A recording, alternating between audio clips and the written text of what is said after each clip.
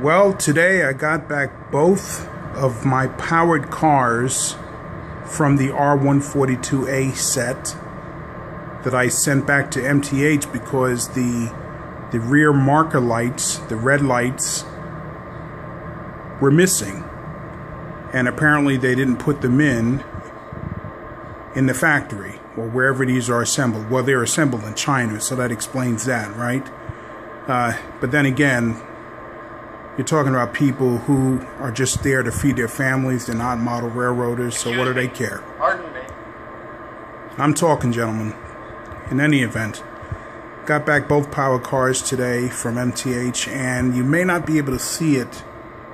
And perhaps I should have turned the lights off, but those two lights that are on now, those are actually red. It's going to go in the opposite direction. And, uh, that's what I wanted to show you, so let me get it started here.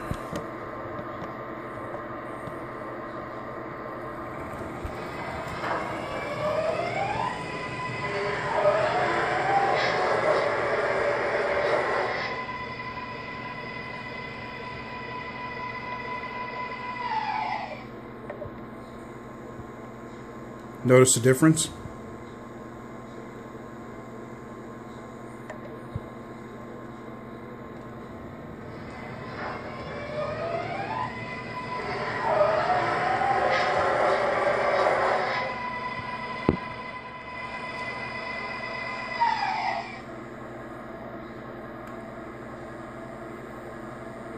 Now, those two marker lights that just came on, those are actually red now. Much to my pleasure.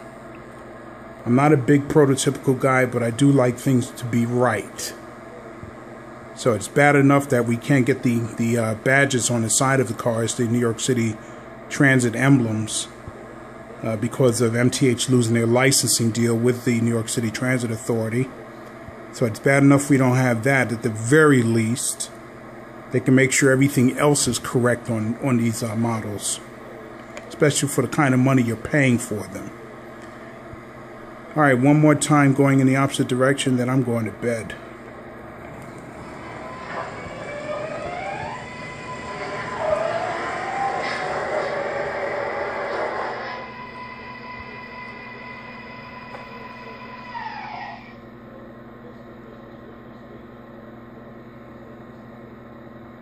That's it.